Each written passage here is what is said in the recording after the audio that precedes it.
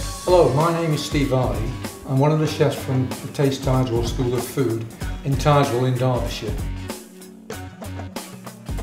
I'm going to show you some recipes of some of the dishes that we do here and uh, I hope you'll enjoy them. I'm going to show you how to make a broccoli salad. What I've got here at the moment is some purple sprouting broccoli.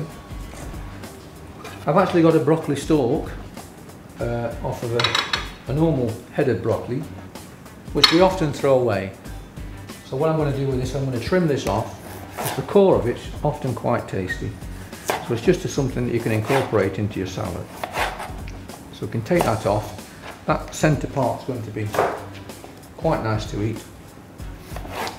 You can just combine that into your into your salad, just a few pieces like that into the salad. So I've got some lovely purple sprouting broccoli and a pan of salted boiling water I'm just going to plunge them into the boiling water just for a few moments, just to kind of blend. So just to take that rawness off, pretty much sufficient. And we'll lift them out and just plunge them into some ice cold water. We can now bring them out of the water, just to drain them off. So I've got they're nice and cold, they're going to retain their vitamins and also the colour. Just going to lift those out and pop them onto my bowl. So we've got the I've also got some artichoke hearts that have been sort of marinating in olive oil. And I'm just going to quarter them, put them back into there.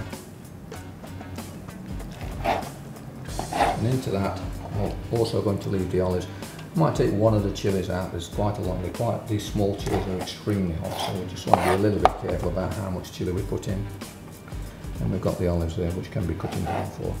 I'm going to add a little bit of salt and pepper. Here I've got some spinach leaves.